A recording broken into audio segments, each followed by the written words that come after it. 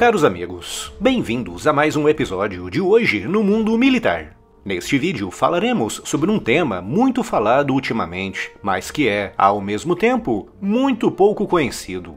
O que é exatamente um golpe de Estado e o que é preciso para que dê certo.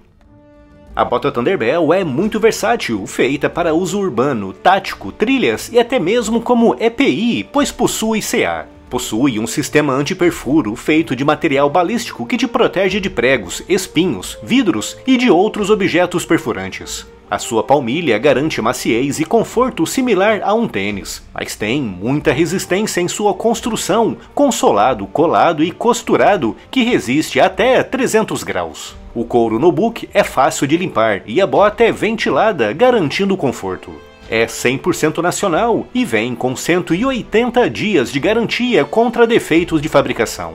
Clica no link aqui na descrição e use o cupom de desconto para garantir a sua.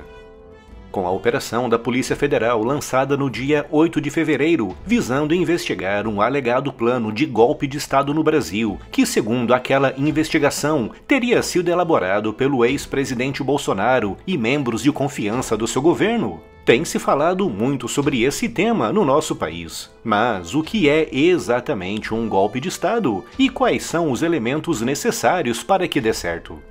Por definição, um golpe de Estado é quando um grupo civil, militar ou uma mistura de ambos derruba à força o governo em funções, com o autogolpe ocorrendo quando o governante em funções interrompe também a força, a alternância habitual de poder, visando manter-se ilegalmente à frente do governo.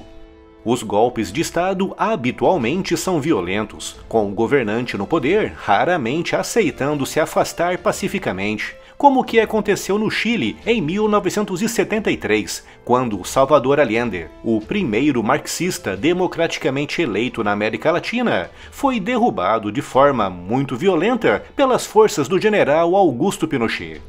Até recentemente, acreditava-se que Allende tinha se suicidado no interior da sede de governo cercada, mas novos documentos e pesquisas forenses parecem indicar que foi executado pelas forças golpistas de Pinochet. No entanto, há casos clássicos de golpes que decorreram de forma relativamente pacífica, como o que aconteceu no Brasil em 1964, quando o presidente João Goulart decidiu simplesmente se afastar diante do avanço dos militares, optando pelo exílio e abandonando o cargo de presidente, deixando-o vago. Na categoria de alto golpe, há também muitos exemplos clássicos, começando por Júlio César, que em 44 a.C. se declarou ditador perpétuo.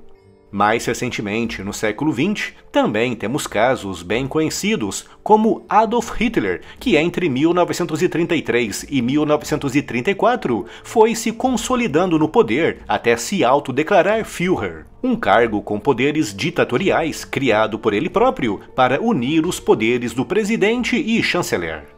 No Brasil, também há um exemplo muito conhecido de alto golpe, quando, em 1937, o presidente Getúlio Vargas derrubou o seu próprio governo e aprovou uma nova Constituição, instituindo ali o Estado Novo. Agora que já sabemos o que é um golpe e um alto golpe de Estado, levanta-se uma questão importante. O que é preciso para que um golpe tenha efetivamente sucesso? Quando analisamos os golpes e autogolpes bem-sucedidos ao longo da história, há sempre um elemento comum que salta à vista: o forte apoio dos militares e das forças de segurança. O apoio militar é autenticamente crucial para o sucesso de qualquer golpe, por um motivo bem óbvio. São eles que possuem as armas e os meios necessários para impor a nova ordem do novo regime e é por isso que tantos golpes bem-sucedidos foram realizados justamente por militares. O apoio político e popular é importante, mas não é vital para o sucesso de um golpe.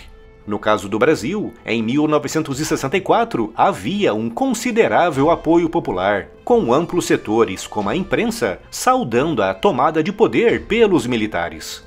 Até mesmo no espectro político havia um certo apoio, que só desapareceu quatro anos depois, em 1968, com a entrada em vigor do Ato Institucional número 5, que ficou conhecido como o golpe dentro do golpe.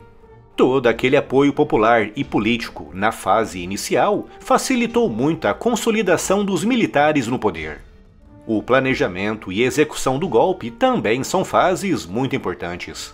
O planejamento deve ser o mais secreto possível para que os golpistas possam se aproveitar do fator surpresa, essencial para impedir que o governo em funções consiga preparar a sua defesa.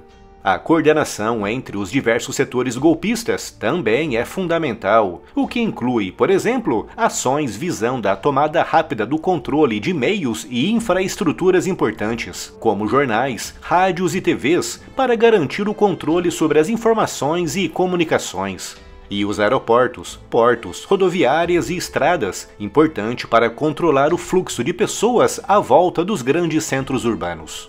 Numa fase mais avançada do golpe, mas ainda incluída na etapa inicial, outros elementos importantes para garantir o sucesso incluem a neutralização rápida da oposição, através de prisões ou até mesmo da eliminação física de personalidades importantes que possam representar um risco ao golpe. E também o reconhecimento internacional do novo regime, importante também a nível interno, já que um novo regime, devidamente legitimado pela comunidade internacional, é capaz de se impor e se consolidar mais rapidamente.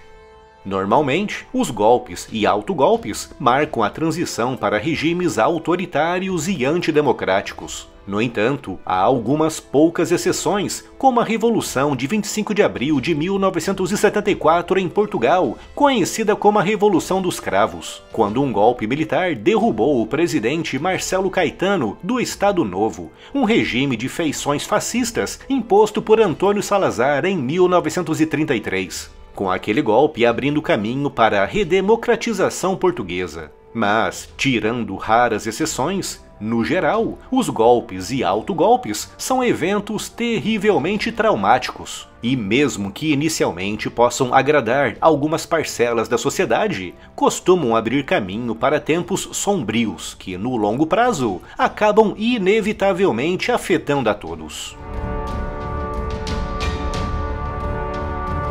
E se ainda não está inscrito no canal, inscreva-se já e acione o sino das notificações para não perder nenhuma novidade.